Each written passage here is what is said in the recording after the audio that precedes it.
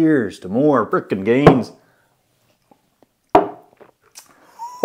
First off, a claim like this, what good is it if there isn't any evidence behind it?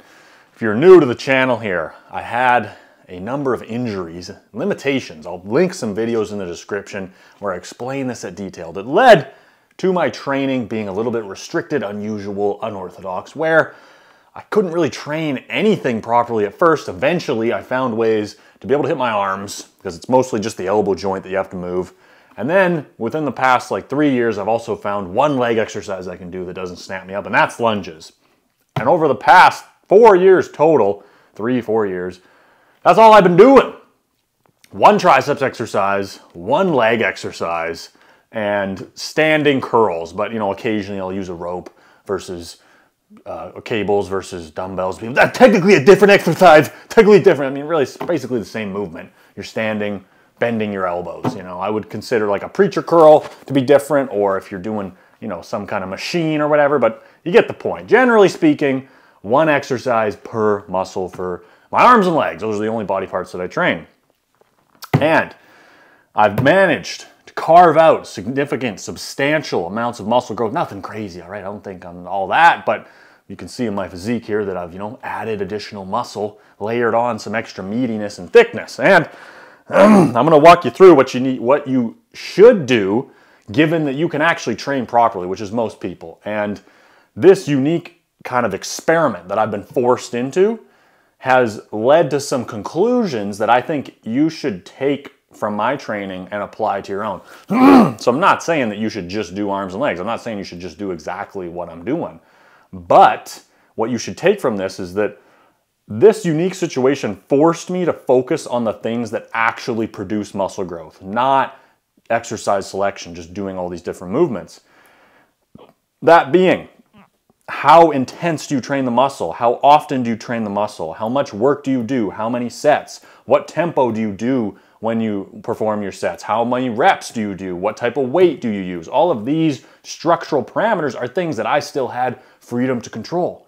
And initially, I was happy to just train and just pump my arms, but eventually, I started to progress more and go, okay, let's do this. Let's and I just kept showing up day after day, do my mobility work, stretch everything out, bang out some arm sets, slowly but surely, okay, I can train harder, I can do this, I can do this, I can do this, I can control these variables that actually lead to growth.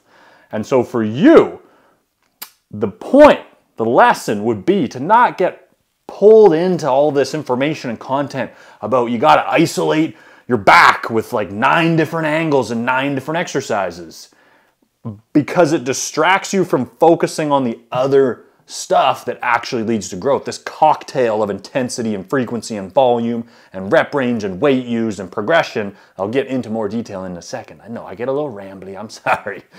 Those things are what actually produce results. And what I'm trying to illustrate is that in my wacky, constrained example, I was forced to not be able to focus at all on exercise selection. And the only things I could control were these parameters. And initially, I didn't think this. I was like, great, I can get even more jacked. But what it forced me to do is to get really good with these other parameters because I can't do different movements and I'm really limited in what I can do. So all I can control are these things. And in the end, it produced more muscle growth and more results. And now looking back, I'm like, aha, this is a very interesting finding that I want to share with you guys who can mostly, for the most part, train properly because I used to be able to. And for the first five years or six years of working out, I trained my whole body like a normal person, and I got caught up in all this exercise selection. And to grow your delts, you got to get the front and then the lateral and the rear. Caveat it's not bad to educate yourself about anatomy and understand how different movements target different parts of the muscles. That is useful information. What is problematic or less effective is to get caught up thinking that a good workout for your shoulders or for your triceps, let's say, is to hit all three heads evenly. It's just bullshit, man. And I'm gonna share what my, I got this training video here I found on my YouTube channel from way back when I could train properly. And specifically, we'll hone in on the triceps. I gotta simmer down a little bit. I get a little bit excited, yip yammering about muscles and shit, yelling at the camera.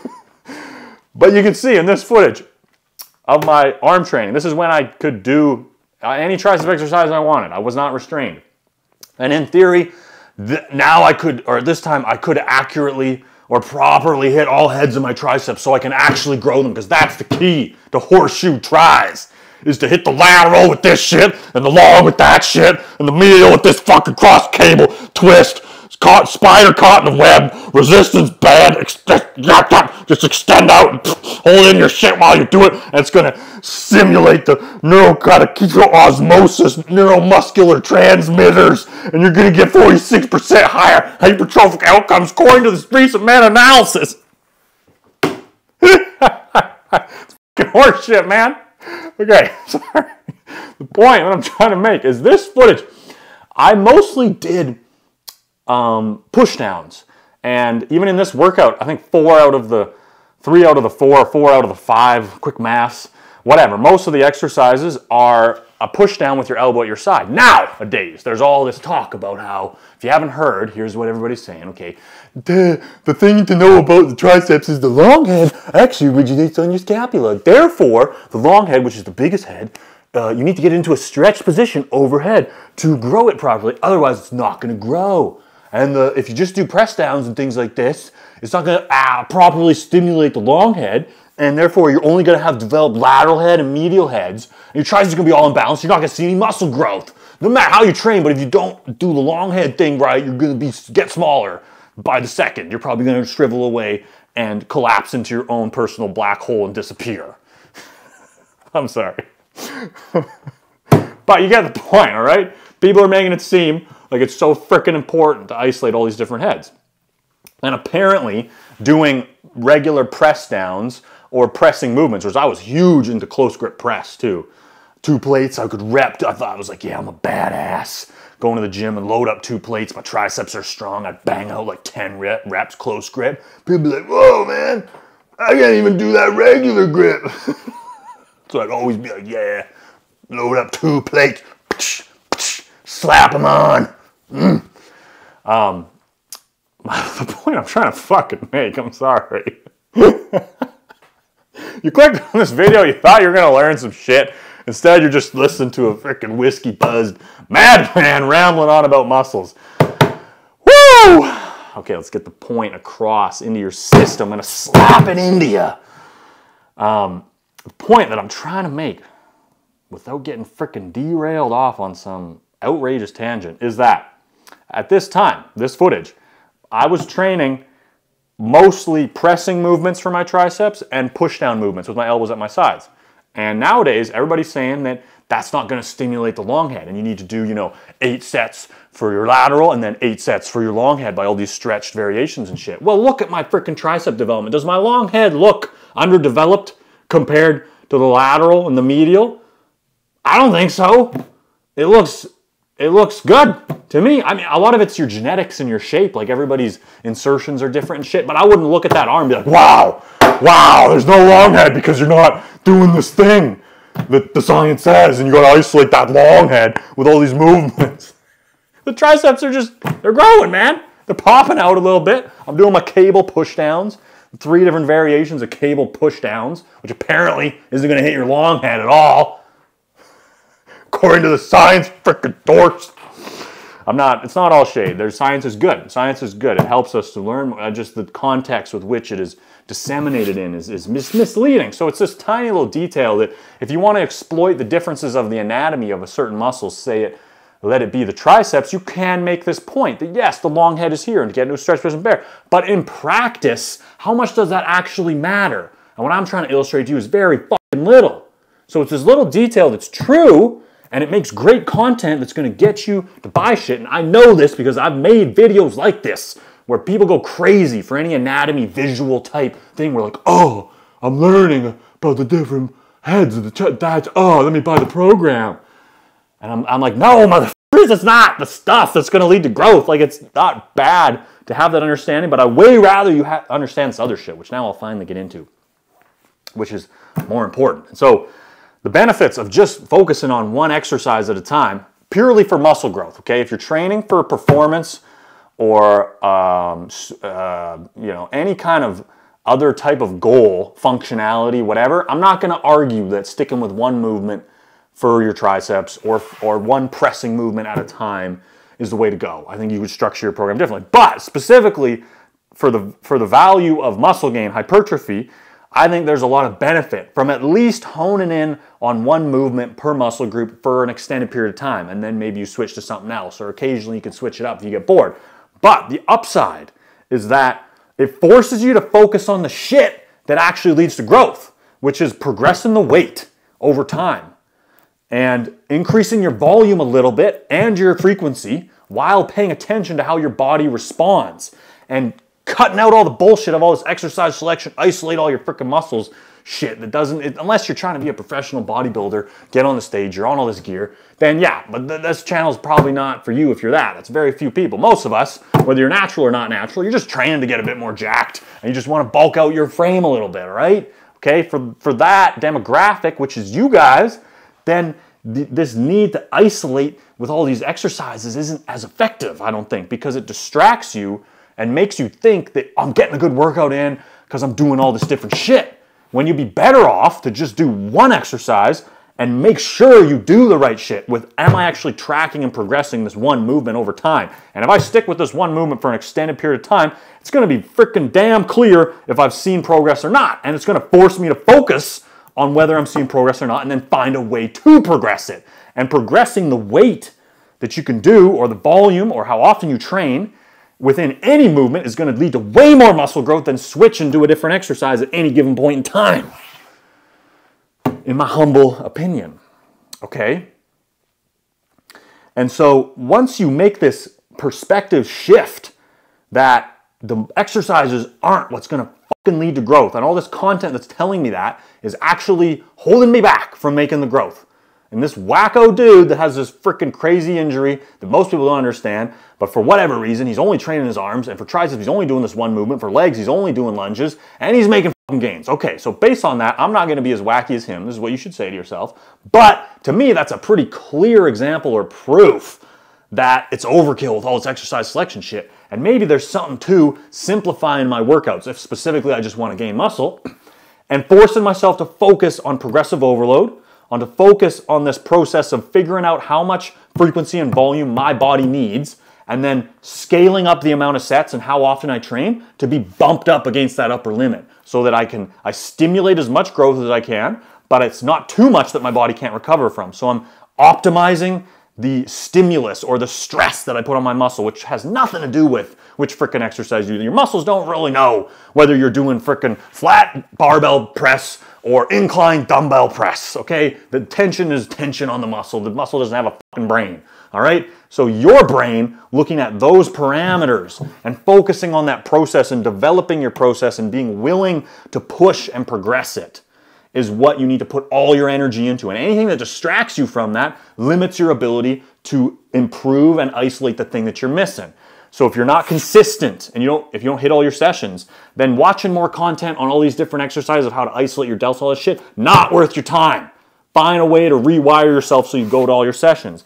If you don't push all your sets really hard, at least close to failure. I like to go to failure all the time, but do it as you may. But it needs to, you need to bring some freaking gusto and juice into the workouts. If you don't do that, then don't worry about a video about how to isolate your glutes versus it doesn't matter. And then from there, how can I progress my training so that either I'm upping the weight or I'm upping the volume or I'm adding frequency, okay? And this other little side note, which I've talked about before if you're familiar with the channel, is that a variety stimulus is good here too, where you don't always use the exact same rep range. You don't always do the exact same rest time in between sets. You change those things up a little bit at least for part of your workout, so you don't just do the exact same workout over and over again. All right. Extended rest times, I think, are good for progressive overload. Various tempos, a fast tempo will help you to progress the weight. A slow tempo, I think, can help for mind muscle connection or accentuating the stretch, blah, blah, blah. Um, start with like a regular amount of sets, let's say like five to seven sets per working muscle per workout. Train at least once a week, and then as soon as you can, bump that up to twice and then up the volume a little bit and see if your body can recover from it. Up it a little more, see if it can recover. Once you hit the point where you don't feel like you're making progress or you're exhausted all the time or you're not gaining any strength for like a month or two straight, then maybe back that volume off a little bit. You've found the sweet spot of what's going to be the optimal amount of frequency and volume for you. Have a structure where you're consistent with those same movements, stick with them for several months at a time, and then have, you know, at the end of your session, do some variety shit, change up the rest times, change up the tempos, change up the rep range, just experiment with some different shit, sprinkle that in there, okay? Lastly, this is a big ramble fest, ramble sesh, but I think this shit will really help you guys because I'm not saying to do some wacky exact shit that I'm doing. I'm just saying take the lessons from my experience to be more effective in the gym. Same thing that's happened with me with, for legs. For a long time, I was not able to do anything with legs. And again, if you're like, this doesn't make any sense, links in the description to the videos that explain my injury and whatever. You can check those out. But just take it as given that I snapped up, all right? And um, eventually I found jumping lunges. I don't know why. I don't fully get it. The split stance movement doesn't require as much mobility through your hips and it doesn't accentuate certain muscle imbalances. If your hip shifts to the right and you go to do a squat, that's gonna like really clearly show up and then you're gonna exacerbate the imbalances if you do that with heavy weight and resistance, enough so to build muscle. So I wasn't able to do any of those movements without snapping my shit up further. Standing in a split stance position where one foot's in front of the other for some reason seems to allow me to, to do the movements as long as I stretch out before and do my mobility and stretch after without worsening the problem. Two, was it two or three years ago? Two years ago, I started, I found bodyweight jumping lunge. I was like, holy shit, I do a couple sets of that. I'm not snapped up the next day. And I just kept showing up and doing the workout and slowly progressing the weight that I could do. Initially it was body weight. Now I'm holding on to 75 pound dumbbells, 150 freaking pounds, jumping up in the air from just keep showing up, keep showing up, keep showing up, keep showing up. Try to progress the weight. Add a few more sets. I do six sets I use an extended rest time for my legs, and I'm I would say my legs are still kind of in this newbie gain phase where like I don't have to do anything that crazy. I just stick to the fundamentals of pushing a failure, always hitting my sessions, control the tempo, but like a little bit of explosive burst, which jumping lunges is conducive to. But I recommend that for triceps, biceps, any muscle group that you use. I think it can help you progress the weight at a much faster rate than doing it with normal tempo, based on my own personal experience and use that extended rest time and then track what I'm doing and try to add an additional rep each time. And my freaking legs and my ass are juicing up, dude. One exercise. Go, oh, you're not hitting your hams. You're not isolating the different sides of the quadricep and the glute and the. Uh, uh. This is what I'm telling you, dude. Sure, if, if you can do all the things that actually matter and do different movements, that's great. That's perfect. But I hope what you can take from this is that if you're feeling overwhelmed, and you're not seeing the progress that you want, or you feel like it's just being so overcomplicated, and you got to learn all this shit. And this, and some people say this is optimal training. That exercise sucks. This exercise doesn't matter, man. If, if I could snap my fingers and heal myself and, and not have any injuries, my training would be still very simplistic in, in terms of um, exercise selection. For pressing movements, I would just pick like one, maybe two movements and stick with those for like six months and just focus on progressing them. Same thing with back. Like everybody's like, you got a vertical pull for your width and horizontal. Like, okay, in theory, yes, and like to some degree, I'm sure. But the most, like, you just do a single back. Like my back has grown a lot from just doing freaking tricep extensions because it, it activates the lat some. So if I can grow my back from doing a freaking overhead triceps movement, do you think it really matters that much? If you do this exact isolated single arm cable, fully mounting a seated row like this and stretching like that and then twisting and throwing your head to the opposite side to get some pendulum tilt activation and contract. There we go, finally! Finally, I'm growing!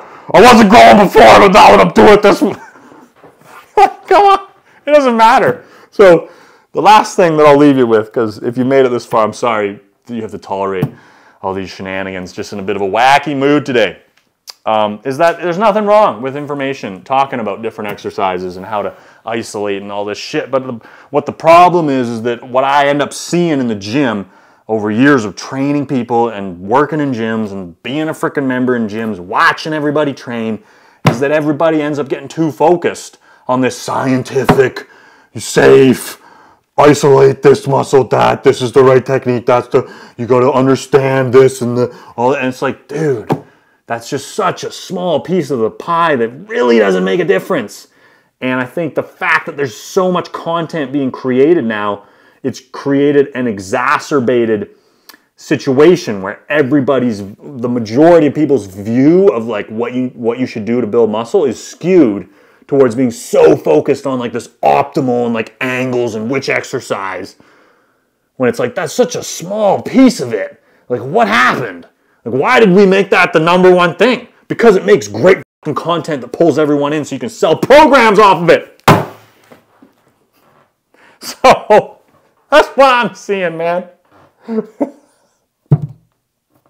so just just take it all with a grain of salt and be like, okay, cool. Maybe I'll try this new back exercise, but it's not gonna make a difference if you don't go to all your workouts, if you don't train your ass off, if you don't find some way to progress the weight and the volume that you do over time, the work output, the amount of work you do in a given session or a given week, and if you're not willing to experiment and ex- try different things and keep your training moving and evolving, it's not going to matter which exercise you do. Woo! And if I'm boxed into my little snapped up world where I can only do these, and I do, and I do my lunges, and I'm continuing to see progress, staying completely natural, then what I want you to take from that is that, okay, I need to check my process and be like, am I actually doing these simple freaking things that Matt keeps rambling on about? And anybody else, Eric Bugenhagen, check him out. Same freaking message, okay? Anybody who's like all out, all in lifter, not that, ah, I don't want to toss shade. I just think if it's people who are sharing their experience, people who are super into the gym, committed lifters, who have developed the result and are sharing their experience of what they've seen is going to say a similar thing to me. I just think Eric Bugenhagen is a great example. I watched a video of his the other day. I was like, amen, brother. Amen, dude. I agree with everything you're saying. Obviously, I'm biased with what I'm suggesting because I agree with him. You can watch other content creators that aren't saying the same thing, but I just, I just, to me, it's so powerfully true that that information about all this optimal and exercise selection and shit is just it's not what's going to actually help you to produce the freaking result that you want and i keep saying i'm in the last this is for sure the last thing that i will leave you with is that you got to ask yourself is it more important to be right about how to do something or to get results in the thing that you want in this case muscle gain do you care more about knowing fucking everything about how to do it that this camp over here or do you go, I don't really give a shit if I technically know how to do everything. I just want to be jacked. All right. And you're like, this doesn't make any sense. Why? The reason is because what you think about in your mind produces the results of your actions of what you do. Not to get all freaking meditational guru on you all of a sudden. But generally speaking, we can all agree with the like it starts in your head of what you think about and your pro what you focus on produces your habits, which then, in the case of the gym and fitness, produces the physical results that you get. And if you stay focused on getting so caught up on knowing how to do something, which so many people are, that don't have good results, you miss the, the practical experience part of it, which is so valuable. It's like, in theory, this is, but oh, that's great in theory. But what happened when you went and applied it over and over and over again? I want to talk to the person that did the thing. And what do they have to say, regardless of what analytical, theoretical thing is you're telling me? I want the person who has the result. What did you do? Because it's not just about knowing, it's about applying. Unless you just want to stroke your ego and feel more comfortable and put other people down and justify your lack of progress by acting like you know how to do everything, which is what motherfuckers are doing. Have a great day. Go make some gains. Peace.